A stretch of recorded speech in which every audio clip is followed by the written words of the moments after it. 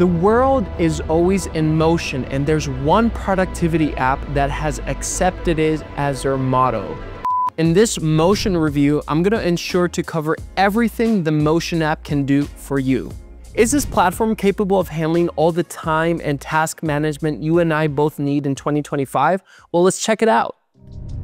There's one important thing to note here. This is a Motion AI review. The platform in question is heavily AI powered, so expect they cover more than just the casual planning. Motion is famous for its tracking, task management, and time optimization, plus the AI meeting notes, collaborative document editing, and such.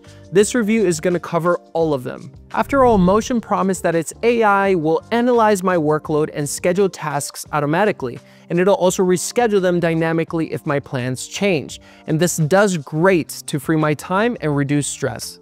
So if that's what you want for Motion, try it out through this QR code or the link in the description. The app even has a 7-day free trial that doesn't cost you a penny to try if you are curious. So next up on the Motion Productivity app review, which features does it offer? The most important part of it, of course, is Motion Task Management. Any productivity tool needs this, and Motion is no exception. I can add tasks, set deadlines, track progress, the usual process other apps like ClickUp or Akiflow also do. The nice part is extended visual customization. I don't have to keep everything in a list. Kanban boards or Gantt charts are also available if you find them easier to work with. Naturally, any productivity tool needs calendar integration, and while using Motion, I noticed a double-sided compatibility. All my calendars were synced with it, no double booking or missed meetings, since any changes in Motion are immediately reflected on other connected platforms as well. Talking about meetings, this is where the AI part of Motion starts to make a difference. AI-powered scheduling does well in suggesting meeting times and outlining duration of tasks and deadlines. Any missed tasks can be rescheduled automatically, although I prefer to do it manually. Continuing with the AI-powered features, one I found extremely useful is AI Note Taker. This feature is a great addition to any meeting. It understands speech quite well and even points out key moments in generated summaries. It's pretty nice for an AI tool. Similarly enough, AI Docs Assistant also does well analyzing written text, especially if you're creating them collaboratively with other people. That said, while AI can extract tasks from simple notes I make, I still found manual approach a bit more convenient.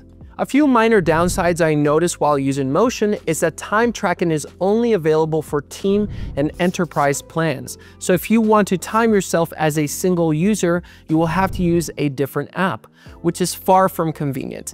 If you're a freelancer, for example, there aren't many features for easier collaboration with clients either. For instance, I can't directly share project progress with another person, so it's another notable downside.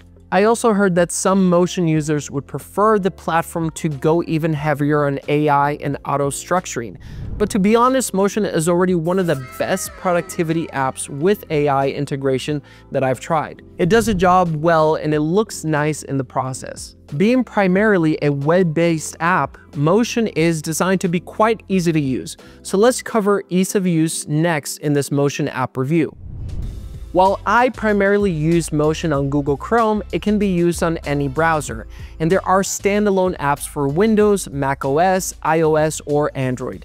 The main difference between them all is in the appearance. All apps support the same syncing options and share all the features. If you're planning to integrate different apps into the Motion productivity tool, it's more than possible. It natively supports dozens of apps from the basics such as Google Calendar, Outlook, or Zoom to business apps like ClickUp, Trello, or Dropbox. That said, some of the apps like the last three have to be integrated manually through an open source Motion API or a third-party tool like Zapier.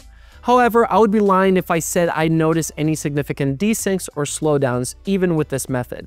All things considered, Motion is not a very complicated app. Sure, it has a bit of a learning curve, but if you use a productivity app before, Motion is unlikely to faze you. Otherwise, getting used to the vast variety of customization choices and settings may be a bit of a chore at first, especially if you aim to use AI-powered features. For example, while the AI scheduling is powerful, you will need to do the initial setup and potentially fine-tune the feature to suit your needs. Any prior experience with AI-based tools will make the understanding of motion much simpler, but it's hardly mandatory thanks to the many customer support options. And before I cover all of the support Motion can provide, you have an opportunity to support me. If you like the video so far, make it known. You can also subscribe to get notified about new reviews. I also plan to create a tutorial for Motion, so if that's something that you feel you need to have, leave a comment below.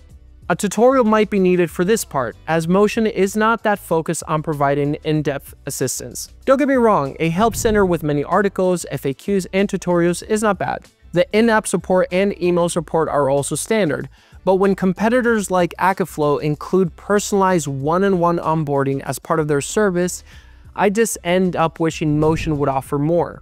The only additional thing I can have is priority support, which is hidden behind the enterprise plan.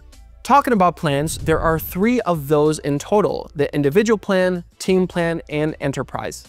Personally, I have the most experience with the individual plan. It's the best for solo users. The plan includes all of the core productivity features and the AI focus elements as well. However, it does not offer time tracking or team collaboration features. You will have to get the team plan for those. Keep in mind that it's designed for small to medium-sized teams, including all the features from the individual plans, plus shared team tasks, collaborative project management, time tracking, shared dashboards, and admin control. Solid functionality, but clearly not aimed at big companies. That's where the enterprise plan comes into play. This plan is made to satisfy custom needs, offering a lot of customization on top of the same set of features Teams already has. And most importantly, all enterprise members have access to a dedicated customer success manager, making the integration much easier.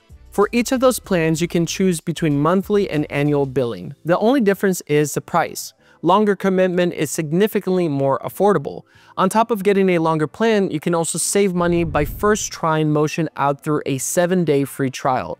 If you want to start right now, just check the link in the description for directions. So is Motion worth using? Well, in my experience, it's one of the best productivity tools that seamlessly combines classic management options and some fresh AI implementation without relying too much on LLMs too much. And any tool that has a reasonable approach towards productivity will reduce your stress significantly. It just makes sense to try. Besides, it's quite hard to find a productivity tool like Motion. It offers a lot of integrations like time tracking, AI assistance for document management and note-taking, and dynamic schedule and task suggestions. I suggest you try Motion out and let me know about your experience in the comment section below. I'll be coming back with another review very soon, so stay tuned and stress-free. See you!